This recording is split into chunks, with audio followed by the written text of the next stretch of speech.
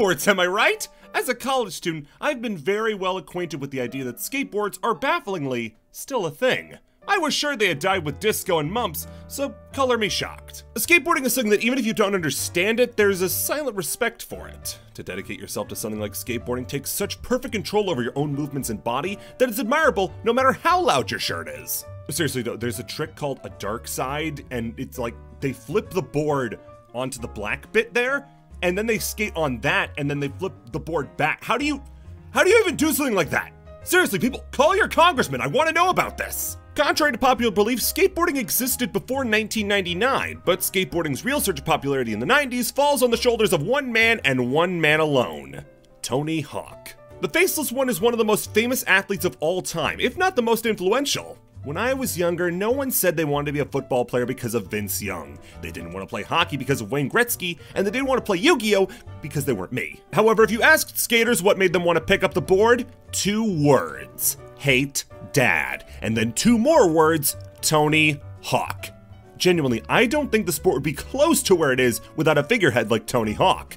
For all intents and purposes, the man and skateboarding are one and the same. So what better way to shake off a little video rest than by taking a deep dive into the most skateboardingest game ever made, Tony Hawk's Underground. Or Thug as people cooler than me call it.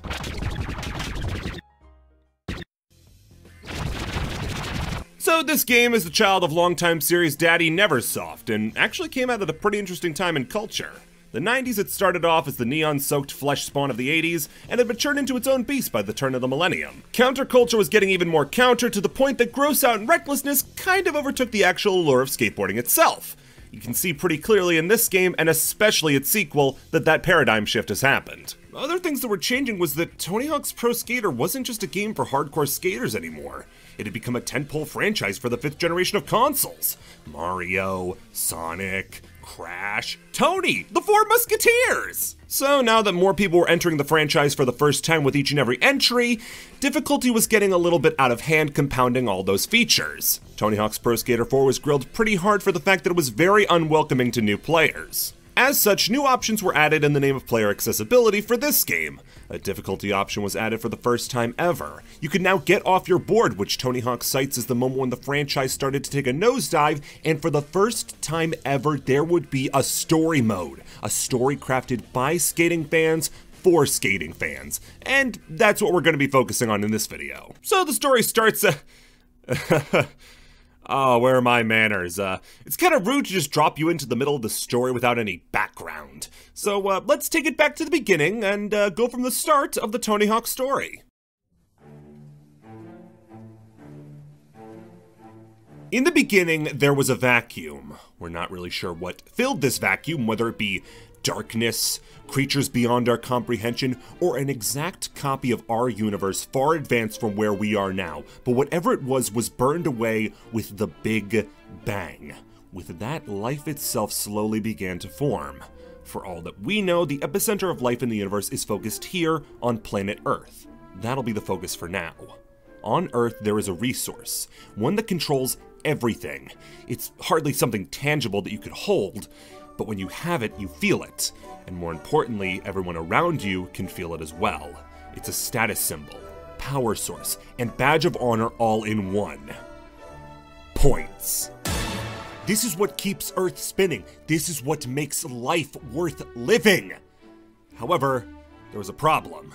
Humans, in their small mindedness, believed that there was only a finite amount of points in the universe. I mean, the Big Bang, the thing that we just discussed, the thing responsible for all matter in the universe. Look at your hands, look at your desk, look at the device you're watching this on right now. Everything was created by the Big Bang, and even then, it was 100 points, max. Some of the greatest figures throughout history have accomplished goals worthy of points, not even breaking the double digits. The construction of the Great Wall of China, 9 points. Nero burning Rome to the ground as he fiddled was pretty sick, so he got at least like 16 points. Humans leaving the boundaries of our beautiful planet and piercing the atmosphere into space. 21 points. Mansa Musa, the richest man of all time with an estimated wealth of over $400 billion, is claimed to have said, The one thing I could never possess with my vast wealth was one thing, the one thing that I truly wanted out of life. All the points in the world. he said in his native Songhai. It seemed that, much like the volatile nuclear energy, while there were ways to harvest points, the cost of doing so was far too great for any nation, let alone single man, to attempt. What was interesting was that tying humans back to their primal origins, animals too seem to be aware of the concept of points, and maybe even possess them themselves. We can observe this in creatures like the horned lizard's blood defense system, which was pretty nasty and might have even earned the lizard a point for its boldness. The paradise flying snake of Indonesia, breaking the boundaries of its species and flying like a hawk, was a two point endeavor. And perhaps the discovery of fire by primitive man earned them enough points to reach Avalon and become uncontested atop the throne of planet Earth. But for all of man's accomplishments, the generation of points seemed to be outside of his grasp for anything other than the greatest of accomplishments. And that's not even discussing what lost humanity points as well. For as easily as points can be earned, they can be taken away in a process dubbed by various religious organizations as bailing.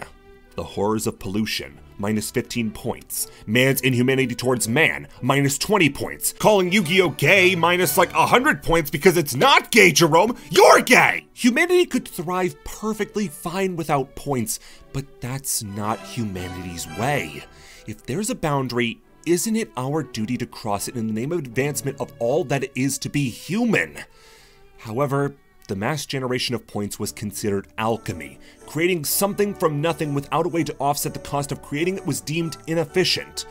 And so, for many years, points laid dormant.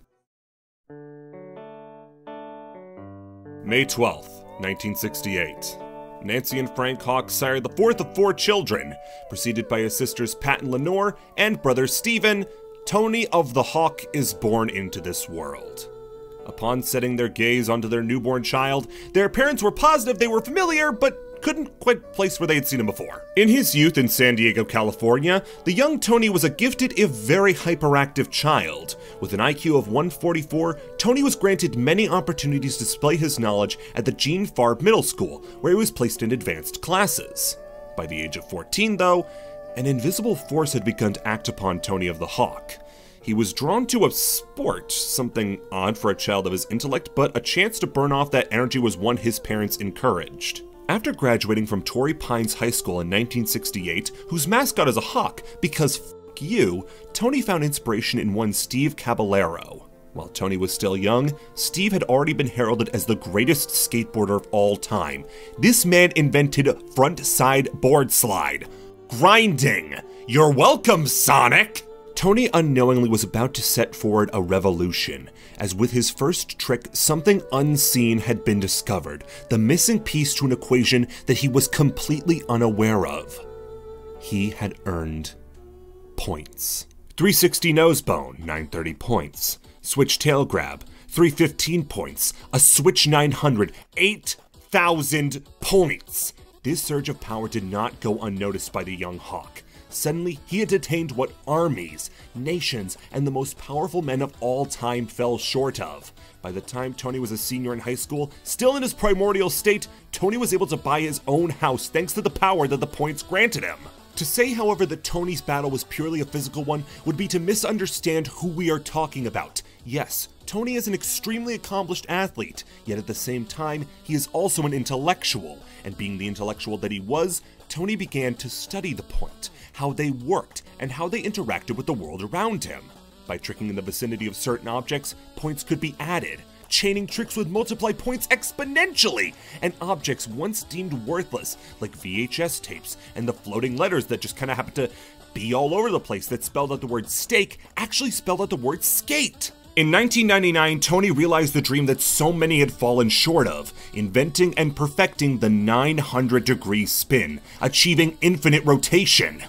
There's a concept known as the golden ratio, a beautiful number found in all facets of life architecture, science, art, even life itself adheres to this number. After Tony's trick, it was discovered that this rotation was actually the trajectory of a 900 degree spin, and Tony, with his Mensa level intellect, was able to apply that power to his board. With this, Tony became something much more than human. To everybody around him, Tony was to be venerated. He was not just Tony Hawk Pro Skater. It was Tony Hawk's Pro Skater.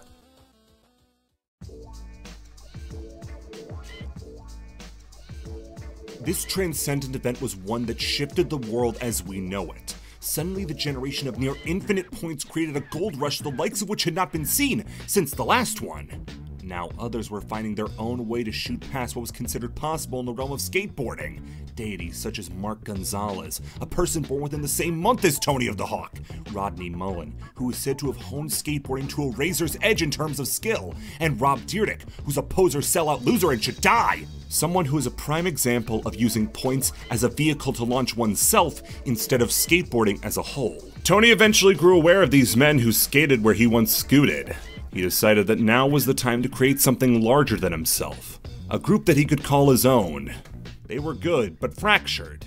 If Tony could create a skateboarding inner circle, there's no telling what they could do for the world.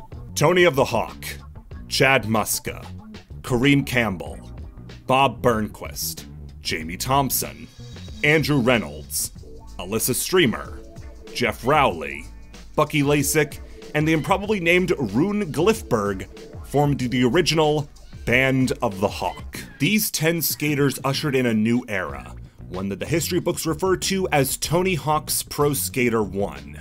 With their combined prowess, points flowed forward from their boards like glorious sugar water. Prosperity was brought to what was originally assumed to be a doomed timeline. The video game Chrono Trigger predicted that the world would fall to ruin by the hands of Lavos in 1999 but it's now very clear to see that thanks to Tony doing an ollie, Lavos was beaten back and the game is now largely considered pointless and completely worthless. These 10 titans would serve as what all others in the field of sports would chase after for years to come.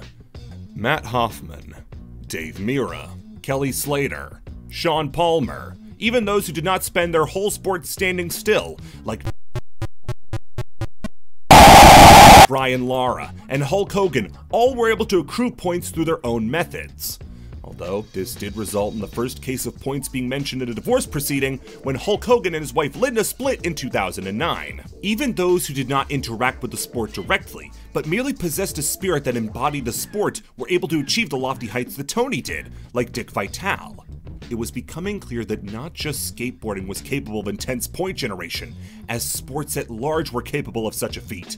The peak of human athleticism was what was needed to hone one's body for one purpose and one purpose only victory. In many ways, Tony stood in defiance of the further wave of those emulating his accomplishments, but where he contrasted the greatest was in his outlook on life. Those who were only in the rat race for fame and fortune were doomed to burn out. Tony, however, managed to stay true to himself. He wasn't some poser who sought out a television deal or fame beyond his means.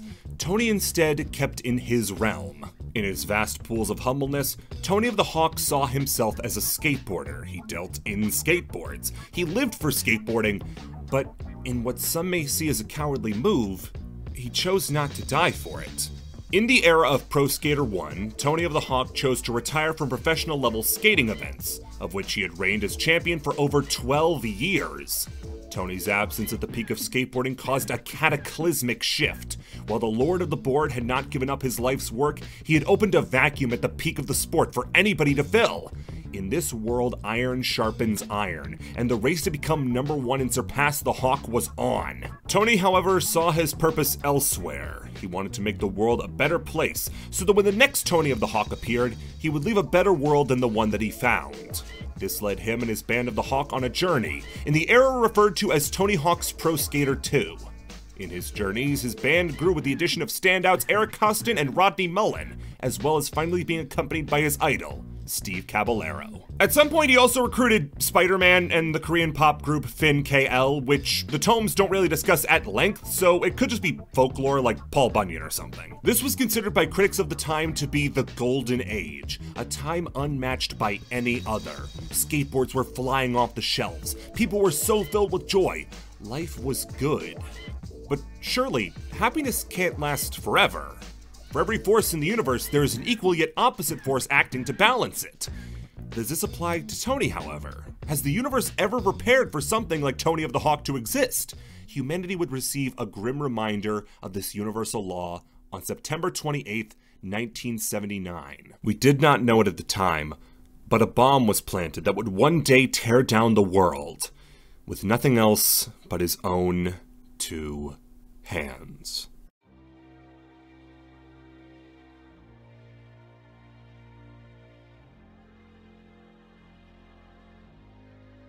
Bam Margera.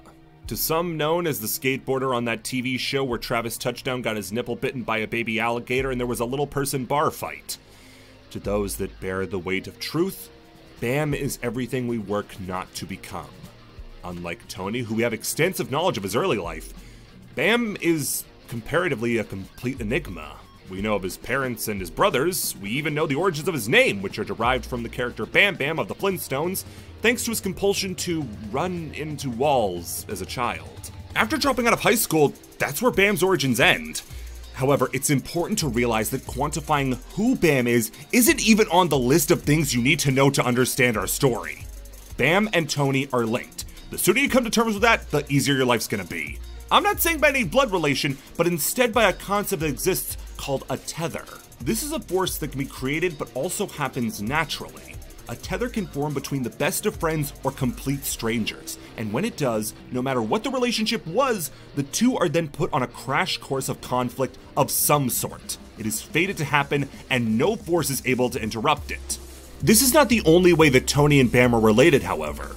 Compare what we know about their upbringings. Tony, a hyperactive child, Bam, compelled to run into walls. It doesn't take a scholar to realize that the two have the same spark between them that remains consistent. The spark inside Tony that allows him to wield his board with the proficiency that he does exists within Bam as well. The problem arises from circumstances. There are forces outside their hands that lead Tony and Bam down completely different paths in life. Tony is a creature whose heart is naturally inclined to justice and goodness. His establishment of the Tony Hawk Foundation in 2002 is proof of that.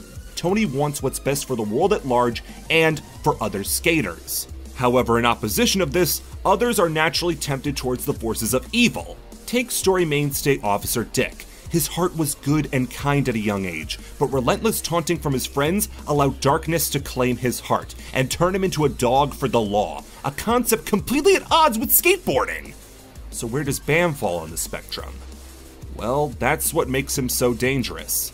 Bam is neither inclined to good or evil. His heart is completely unclouded by influence, and as such, he will fall in line with others' thoughts very easily. Should a strong heart of good or evil find Bam in this vulnerable state, it will not take long for their influences to take him over. At the moment, this is Bam Margera's tragedy. He has the potential to bring about the second golden age of skating like Tony had done, but without a force to keep him on the straight and narrow, he could also bring about the first age's ruin. That's why in the era of Tony Hawk's Pro Skater 3, the only new skater recruited was Bam Margera, to replace the recently fallen Bob Burnquist. Tony made it his top priority to allow Bam into his inner circle, as it would keep him from being tempted by dark forces. There are also reports of Doom Guy and Wolverine being there, but I think someone's just trying to mess with me at this point. For all of Tony's positives, he has a fatal blind spot which he is unaware of. As someone whose actions and thoughts are those of justice pure and simply, Tony of the Hawk is a very trusting individual who takes people's word at face value. When Bam gives his word to work with the Band of the Hawk, Tony allows him in with a questionable level of enthusiasm, prioritizing Bam's allegiance over all else. This continues over the course of the era of Tony Hawk's Pro Skater 4, where yet again, Tony has chosen to let no one else into his inner circle outside of those who remained from the previous era. His full attention is given to Bam to make sure he doesn't do something drastic. Despite his attention being placed squarely on Bam, he can't see the obvious.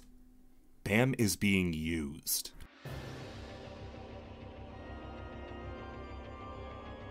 To revisit a previous concept for a little bit, the Pantheon of Immortals is reserved for those who have proven themselves to be at the height of human achievement, those for whom their very being and their skill are one and the same surfing, wrestling, college hoops. If the body can be honed in order to reach the pinnacle of a field, then you can be granted the chance to join this prestigious group. But what about somebody who honed his body in a dark way? Not choosing to reach the top in his field in sports, but rather become the greatest at absorbing pain. In truth, there's some reality to the idea. You would have to hone your body to withstand any amount of pain. But is there any nobility or respect that can be earned from putting yourself through inhumane torture just for the sake of it? Where the pain is both the training, the sport, and the reward? One tried to answer this question, laying his life on the line to prove that you didn't need skill to become a legend. Johnny Knoxville. Once an ordinary human being like you or me, Knoxville wanted to attain the power of the Immortals more than anything.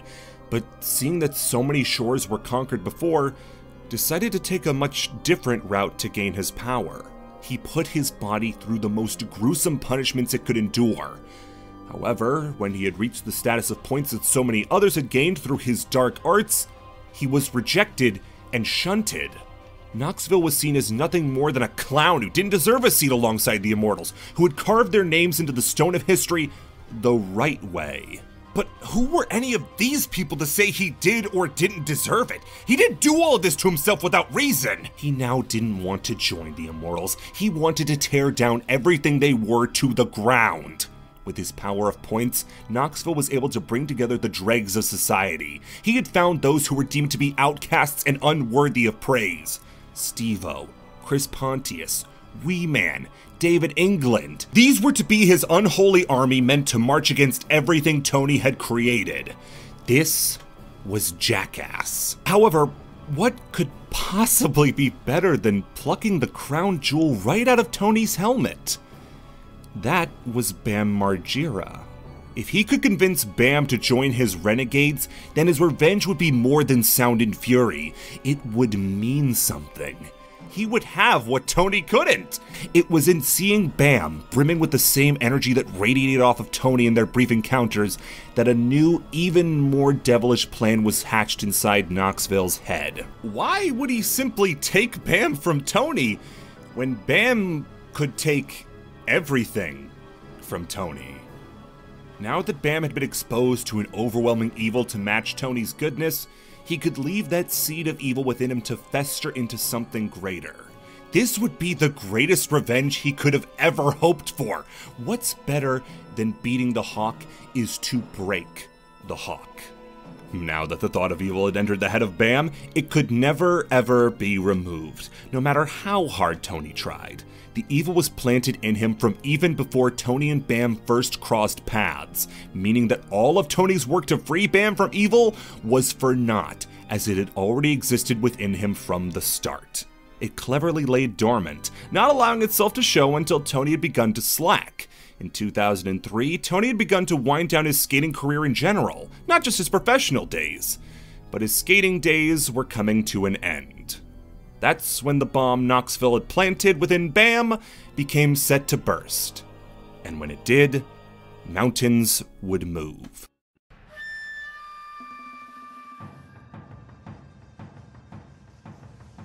We finally arrived, all caught up on the story. But heavens know that if you think the end is in sight, you've gone blind.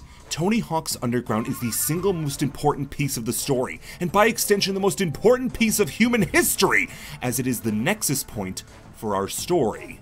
We follow you, the custom skater who grew up in New Jersey, alongside Eric Sparrow. Just then, did you feel it? For those that felt a cold chill rocket down their spine, that's normal. Eric Sparrow is evil. I'm not saying he's an evil person. He is simply the concept of evil condensed into a small New Jersey boy. Eric is what every skater loathes a heart with no space for good as it was filled with evil from the day he was born. There's no saying why, where it came from, or even how his frame is kept from exploding due to the pure concentration of bile in his system. Eric simply exists, and we have to deal with the ramifications of a creature like him choosing to become a skater. To quote one of the greater philosophers of our time, Xavier Nelson Jr., I've had the opportunity to write, and delete, a lot of hyperbole about Eric Sparrow while working on this article. I am not exaggerating when I say that I sometimes lay awake at night and consider the fact that Eric Sparrow will never go to hell, because he is not real and therefore cannot die. I don't know exactly what he means by that last part about him not being real. I have a picture of him right here, idiot philosopher. That's why you guys are tried for impiety and corruption of the youth. Anyway, Eric Sparrow and you are trying to become big time skateboarders, eyes bulging with imagined riches, although Eric's imagination seems to be slightly larger than yours. After impressing the right people like Stacy Peralta and Chad Muska, you're gifted with a new board by your idols. And this begins the rift between you and Eric. Soon, however, drug dealers rob Stacy's store, and out of a childish revenge, Eric burns the dealer's place to the ground, causing him and by extension you to flee the state to escape being killed. From here, the story hits many of the same beats, with a theme becoming clear of the lengths you're willing to go through to protect Eric, and how Eric would never do the same for you. In this, you see how when arriving in Miami, you have to work with the cops in order to save Eric from jail time, and are rewarded with Eric refusing to submit your application to a skate event, allowing himself to accrue points, letting him rocket past you in terms of power. The only reason that you can enter this event anyway is thanks to interference from Tony of the Hawk, who decides to step down from his U up high to right a wrong. This imparts a sense of love for the craft of skating onto you, one that will lead you to success or ruin. This rift grows further and further with every instance of you two meeting, and it's not until Hawaii that fate begins its final act. A trick is set up at the top of a hotel roof. Below you, a helicopter. Before you, a ramp. And inside of you, the same spark that Tony had. Tony knew you had potential and could see your path forward was filled with vert ramps and grind spots all the way. His career is coming to an end. And with that, he sees you as the path towards the future. If you can clear this gap, skating will finally be in good hands, and Tony of the Hawk can rest. However, it was finally time for the bomb to go off, the one that Knoxville had planted so long ago. Tasked with recording the moment that skating would reach its zenith, Eric Sparrow does the unthinkable. With Bam's influence as strong in his heart as Tony's was in yours, Eric Sparrow steals the tape of you doing the trick and manages to pass it off as his own. This is the point of no return. What Tony saw as a moment to finally let go and let the next generation take the reins, Bam Margera saw as an opportunity to take that moment for himself. Eric Sparrow goes off to pass that tape off as his own and makes millions. He becomes a celebrity. He becomes a poser. Later on in Russia, Eric takes his antics far outside the realm of skateboarding and causes over $300,000 worth of damages to the Russian embassy and puts your life in danger. If it's not already obvious, you and Eric are tethered, much like Tony and Bam. Except this relationship turned volatile far quicker than Tony and Bam's. That's thanks to Eric Sparrow's innate darkness. You two cannot escape your fated clash, and that occurs after you make it home and finally have a chance to throw down with Eric and get the tape back. However, this is not a battle between you and Eric. This is a battle between Tony and Bam. You're simply the horses they're betting on. Eric represents Bam's dark crusade to turn skating into some sort of sickly facsimile of what it really is, and you represent Tony's stalwart guard. You've built skating with your own hands, and to let Bam and by extension Knoxville destroy it would be to fail at everything you've ever stood for. They're simply imparting a little bit of their power into you to make things interesting. The battle is long and causes so much damage that only one thing could possibly end the conflict end the bloodshed from hurting any more innocent civilians. This is the Forbidden Skate Move, a variation upon the classic Christ Air, a move used to totally eliminate an opponent. Should it be used, nothing can stop the complete destruction of its target. Misuse of the move can result in total destruction of a surrounding area. To end the battle, one of you must use the Antichrist Air. I'd like to continue the story now, but Sadly, that's not up to me. Where the story ends lands entirely to the hands of you and Eric. You see, I called this era the Nexus Point for a reason, for there isn't one ending to the story of Tony Hawk's Underground. Depending on how events play out, we find ourselves thrusted into different timelines depending on how the events play out. We've got a few different routes to tackle, so let's try to work our way back to the light. Sadly, that means we'll be starting in the timeline where Eric succeeds. He completely shatters your existence. You are but a fleeting memory in the minds of those that you made an impact on. And that gives Bam total power, allows him to defeat Tony of the Hawk, and by extension, give Knoxville everything he's ever wanted.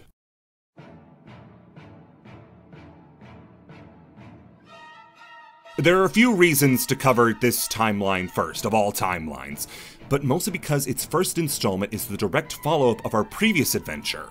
Tony Hawk's Underground 2 is a world that instead of being bathed in the loving light of Tony of the Hawk, has been brazed in hellfire that Bam emits. In this take on events, Bam has become a wicked god in this universe, free to play with it however he sees fit. His worst tendencies have been allowed to run rampant like never before, and his childish attempts of deriving pleasure have left him in control of a world hanging on by a string at any given time. Seeing all the trouble that could be caused by a worldwide trip from the previous reality, Bam plots alongside a now servile Tony of the Hawk to create a world destruction tour where he can destroy new and exciting cultures at his leisure. As the story opens, we're shockingly back where we started in the previous timeline. A small time Jersey skater and tolerant of the fact that Eric Sparrow isn't dead in a shallow grave. What's going on? Simply put, Bam liked things the way they were before everyone else got a chance to ruin his fun. To counteract this, and now with his own points merged with the ones he siphoned from Tony, he simply rewinded time to the events before everything happened, undoing your ability to stop anything that he does. This explains how both you and Eric could possibly exist at the same time in a post underground world, despite one of you having to go. In a world more centered around Bam, we get introduced to another critical character in the Bam Margera story Phil Margera. Phil is Bam's biological father, but moreover is the universe trying to course correct someone like Bam becoming so powerful all at once. Forces beyond our knowledge put Phil back into Bam's sights as an outlet for his aggression. If Bam has Phil to unload all of his hatred, rage, and childish energy onto, then perhaps more innocent lives could be spared. However, they place the burden of enduring the brunt of a nearly limitless energy being onto a single man, and there's only so much that can be done before Bam desires fresh meat. That's why he kidnapped so many innocent souls, and Eric, in order to hold his tour, placing Phil in charge of being team captain so such pedantic things like organization and planning don't have to fall on him. That's beneath him. He's just looking for an excuse to travel the globe and cause as much suffering as he can. And that love of suffering was imparted upon him by Knoxville, and he plans on causing as much suffering as he can by the time the tour ends. That's why Knoxville, who's giddy to the point of giggling at the thought of other people suffering, even sends emissaries like Wee Man and Steve-O in order to keep an eye on and report back to him how his plan is going forth. Not just his plan to spread pain as far as he can, but also to break the Hawk. He may appear to be subservient to Bam, but in reality, Tony is fully able to make his own choices. Despite the harm that Bam is causing people, he still refuses to fight his friend again. He knows that killing Bam isn't the right answer. There's still good in him!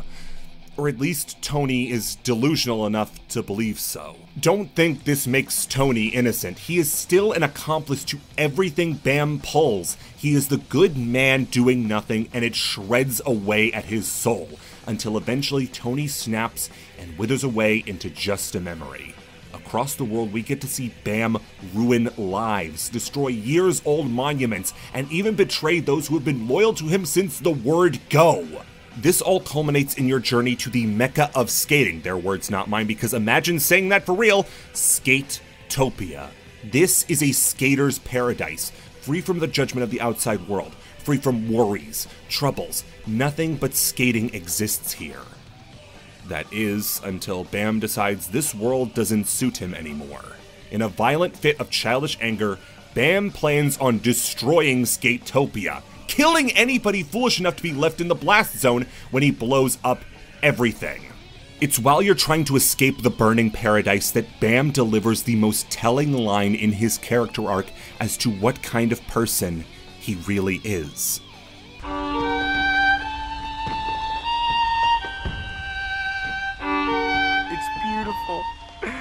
So beautiful.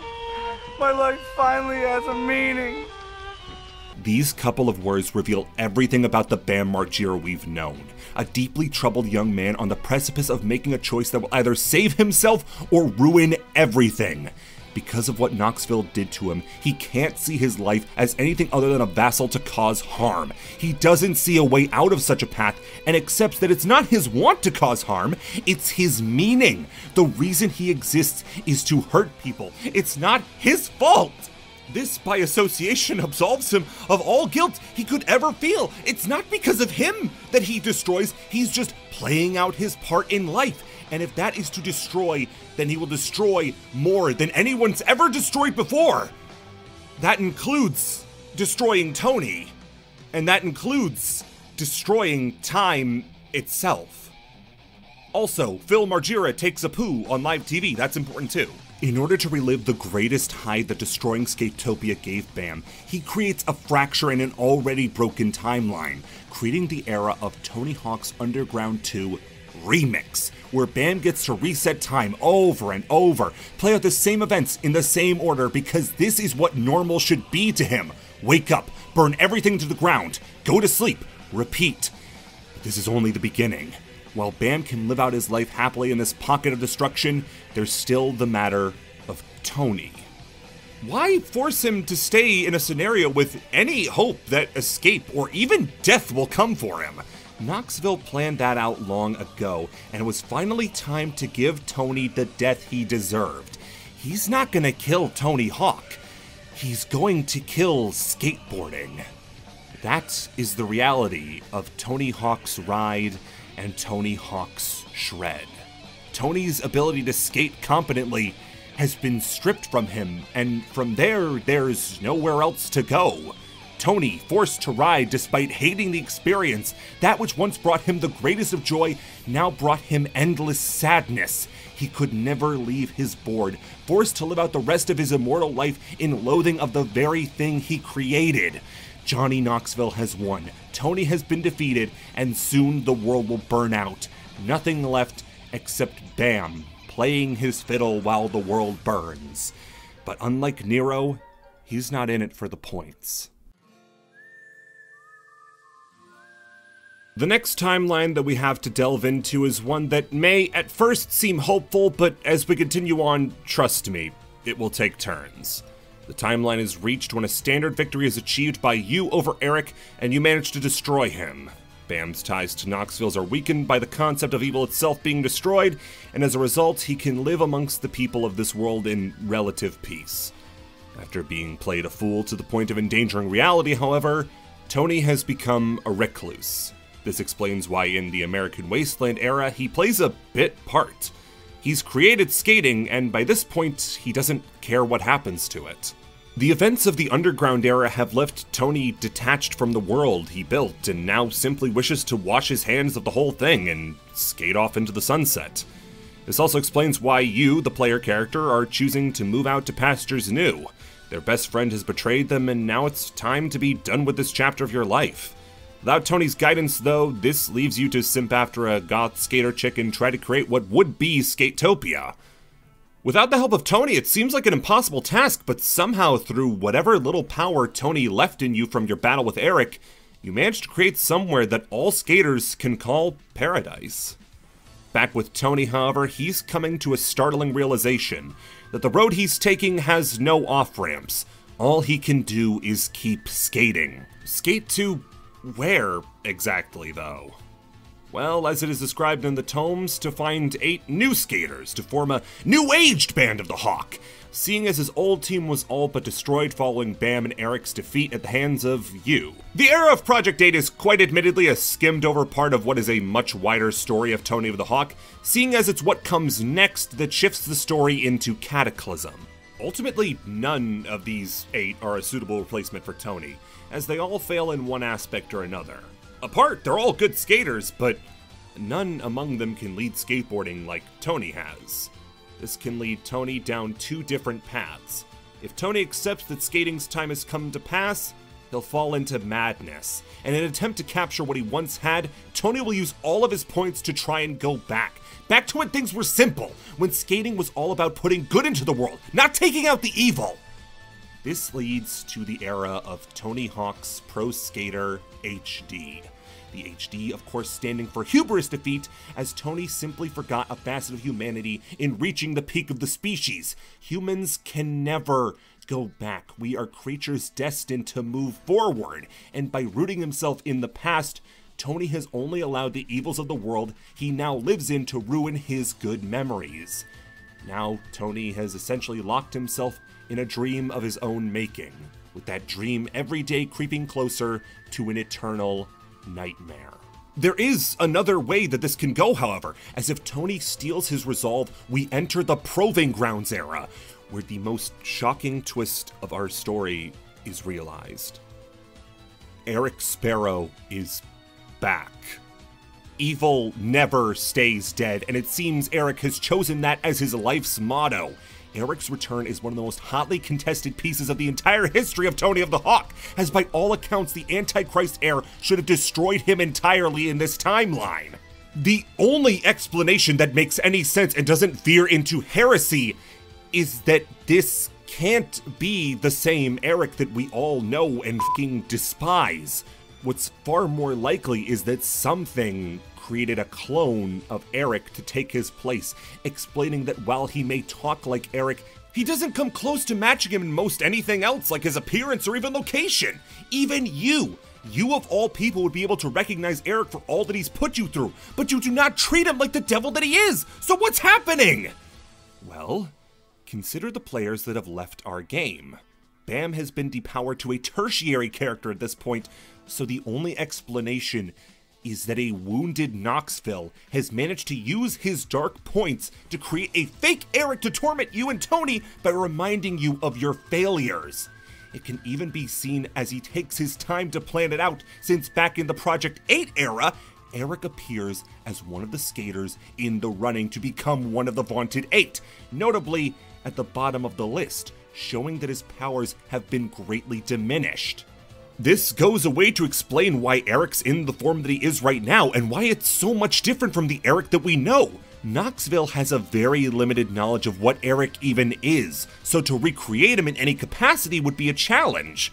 After you're able to weather the proving grounds, Tony finally realizes that you were always worthy of his mantle, and his trauma blinded him to the truth standing right in front of him. As the timeline ends, Tony retires to his own personal Skatopia. He allows himself to spend the rest of his life in a jam. A downhill jam. Downhill jam is about a dead Tony of the Hawk.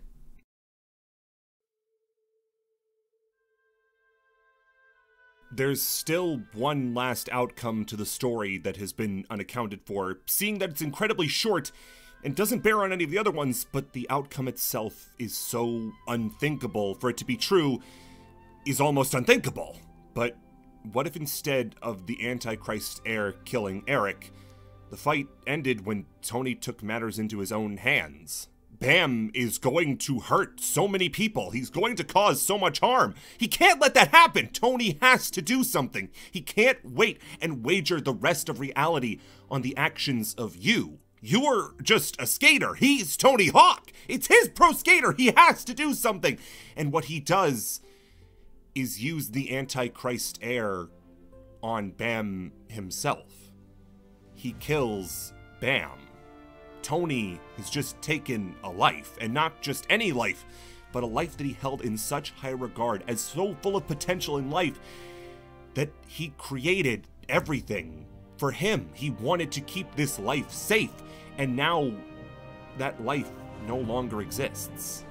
Tony's hands are stained with blood, blood of somebody that he held in the highest regard. He disregarded the entire world just to make sure Bam could stay safe so Bam would not have to fall into darkness. And now, in trying to defend him, Tony has fallen to darkness. Everything in his life has always been done to keep people safe. And now he did something that could kill somebody. He killed somebody. What kind of monster would do something like this? He never wanted any of this. He just wanted this to be fun.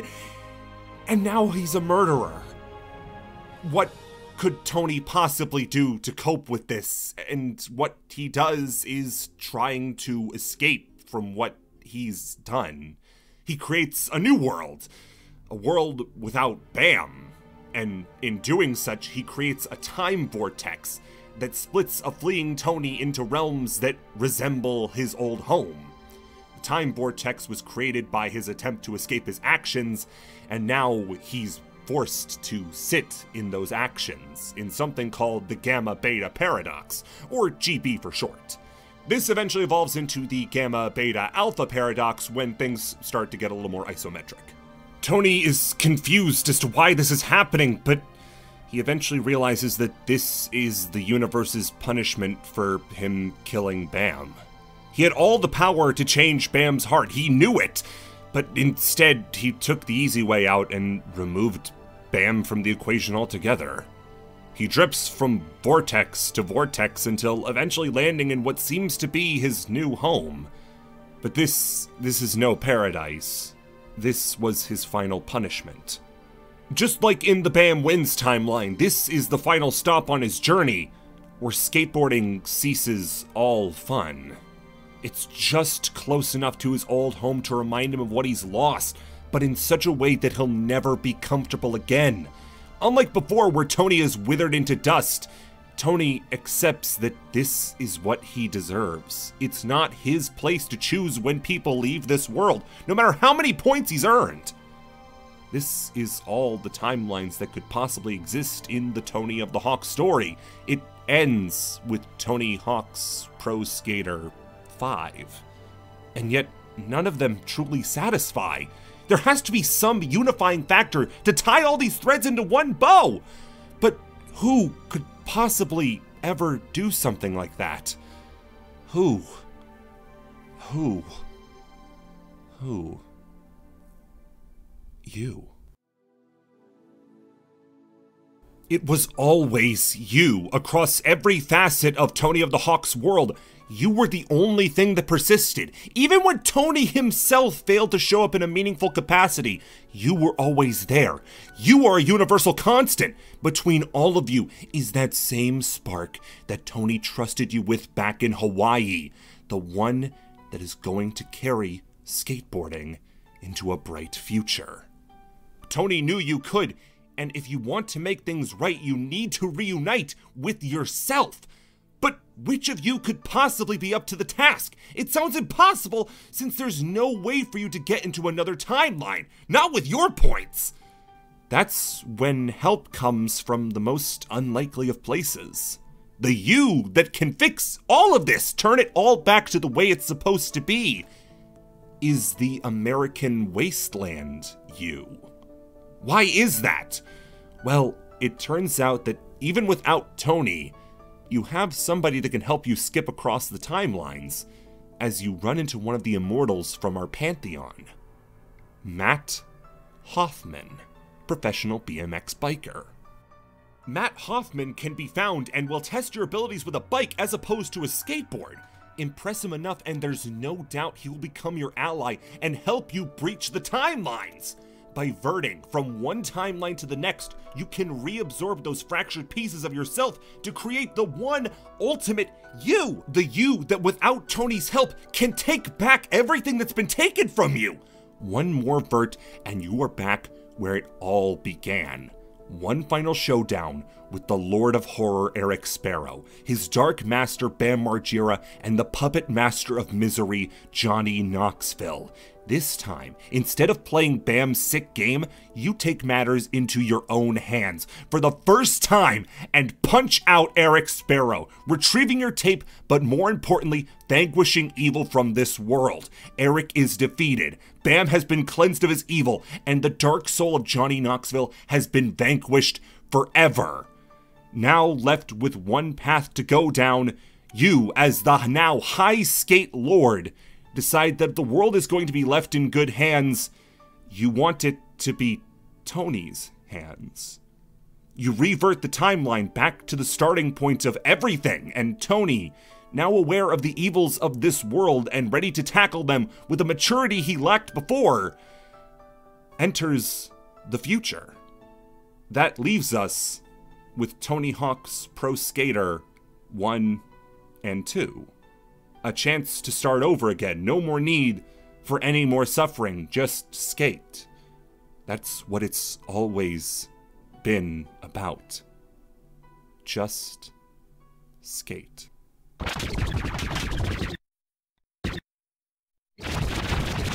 So the games are uh, pretty fun.